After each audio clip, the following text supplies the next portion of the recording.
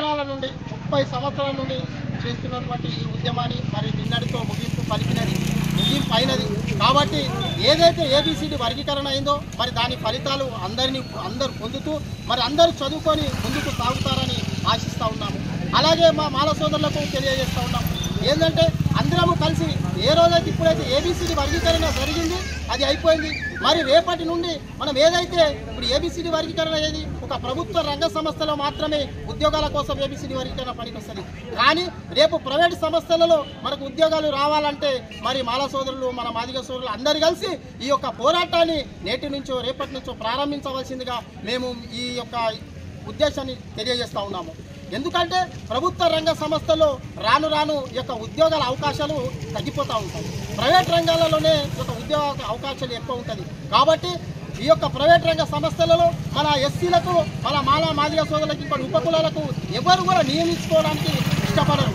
అందుకని రేపటి రోజు ప్రైవేటీకరణలో కూడా రిజర్వేషన్లు తెచ్చినట్లయితే మన అందరి ఎస్సీ సోదరులకు ప్రైవేట్లకు ఎక్కువ అవకాశాలు ఉంటాయని నేను ఆశిస్తూ ఉన్నాను.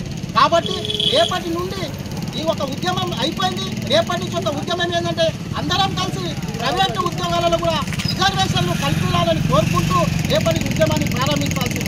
కాబట్టి ఆ యొక్క మాల సోదరులకు ఏమనగా మీరు నిరాశ చెందకుండా ఈ యొక్క సుప్రీంకోర్టు ఇచ్చిన తీర్పును మీరు స్వాగతించి మమ్మల్ని కలుపుకొని ముందుకు నడుస్తారని ఆశిస్తూ ఈ అవకాశం ఇచ్చిన పెద్దలందరికీ మరి యొక్క సుదీర్ఘమైనటువంటి ముప్పై సంవత్సరాల పోరాటం చేసి అన్న మందకృష్ణ మాది గారికి విజయం సాధించుడు కాబట్టే ఆయనకు ఆయన అంటే ఆయనకు ఆనందం ముప్పై ఏళ్ళ ఆనందం. ఈ రోజు కా- అయింది కాబట్టి ఆయనకు పాలాభిషేకం చేయడం జరిగింది. వేరే ఉద్దేశం ఏం లేదు మిత్రులారా అని ఆలోచించాలిగా కోరుకుంటున్నాము. జై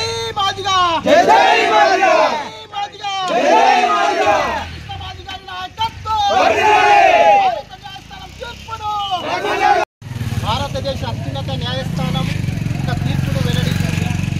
అది తీర్పు ఏంటంటే గత ముప్పై సంవత్సరాల నుండి మన ఆంధ్ర గారి తెలంగాణలో మందకృష్ణ గారి నాయకత్వంలో ఈ యొక్క రిజర్వేషన్ మాదిగా రిజర్వేషన్ పోరాట సమితిని ఏర్పాటు చేసి దీనితో ముప్పై సంవత్సరాల తర్వాత ఈ తీర్పును నిన్న నెరవేర్చడం జరిగింది.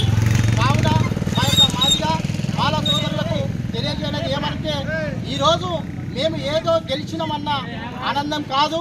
ఏదైతే మరి ఇది రాజకీయ పార్టీలకు అతీతంగా ఇచ్చినటువంటి భారత న్యాయస్థానం తీర్పునిచ్చింది కాబట్టి ఈ తీర్పును అందరూ స్వాగతించాలని మేము మనసారా కోరుకుంటున్నాము. సోదరులారా ఏదైతే ఇది ఒక మాదిగ వర్గానికే ఒక విజయం కాదు బాల వర్గము ఓడిపోవడం అన్నది కాదు.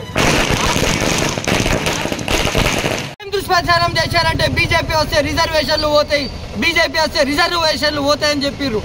ఈ రోజు ఎస్సీ వర్గీకరణ బిల్లు పెట్టి అందరి ముఖాల మీద కొట్టినట్టుగా ఈరోజు నరేంద్ర మోడీ గారు చేయడం జరిగింది. ఈ రిజర్వేషన్లే కాదు ఈడబ్ల్యూఎస్ రిజర్వేషన్లు అంటే ఉన్నత జాతిలో కూడా రిజర్వేషన్లు ఇవ్వడం జరిగింది. ఏది చేయాలన్నా ఏ పని చేయాలన్నా ఏ డెవలప్మెంట్ చేయాలన్నా గరీబోలకు ఉన్నోళ్ళకు లేనోళ్ళకు అందరికీ ఒకటే న్యాయం. సబ్కా సాత్ సబ్కా వికాస్ సబ్కా విశ్వాస్ అనేది మా నరేంద్ర మోడీ గారు అదేవిధంగా మా బీజేపీది నినాదం అని చెప్పేసి ఈ రోజు ఇక్కడ వచ్చినటువంటి ఎంఆర్పిఎస్ నాయకులకు కానీ బీజేపీ నాయకులకు కానీ శుభాకాంక్షలు తెలియజేస్తూ అందరికీ ధన్యవాదాలు తెలియజేస్తున్నాం. అందరు ఇలాగే కలిసికట్టుగా చేసి రేపు రాబోయే రోజులల్లా వర్గీకరణ బిల్లు రాగానే మన పిల్లలకి జాబ్లల్లా రిజర్వేషన్లు వస్తాయి. సో మనం ఈరోజు గవర్నమెంట్ ఒకటే కోరుకుంటున్నాము. ఏం కోరుకుంటున్నామంటే ఈరోజు ఏదైతే ఎగ్జామ్స్ కోసము డిక్లరేషన్ చేసిండో అవిటిని ఆపాలా. రిజర్వేషన్ బిల్ వచ్చిన తర్వాత వాటిని ఇంప్లిమెంట్ చేయాలా? అయితేనే ఈ వర్గీకరణ బిల్లు చేసిన దాంట్లో మన బిడ్డలకు ఉద్యోగాలు వస్తాయని చెప్పేసి కోరుకుంటున్నాము. భారత్ మాతాకి భారత్ మాతాకి మందకృష్ణ మాది గారి నాయకత్వం. మందకృష్ణ గారి నాయకత్వం. నరేంద్ర మోడీ గారి నాయకత్వం. నరేంద్ర మోడీ గారి నాయకత్వం. జై అన్నారు.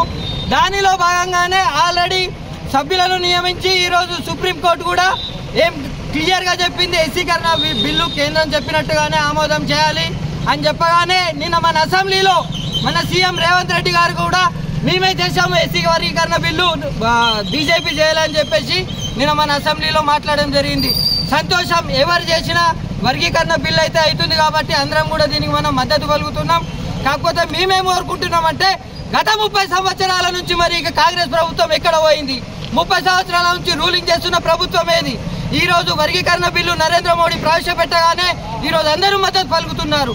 మరి గత ముప్పై సంవత్సరాల నుంచి మాదిగ జాతిని ఎవరు కూడా దగ్గరికి రానిచ్చేయలేదు. వాళ్ళు రాజకీయం కోసం వాడుకున్నారు. సో మేము ఒకటే కోరుకుంటున్నాం. వెనుకబడిన కులాల కోసం నరేంద్ర మోడీ గారు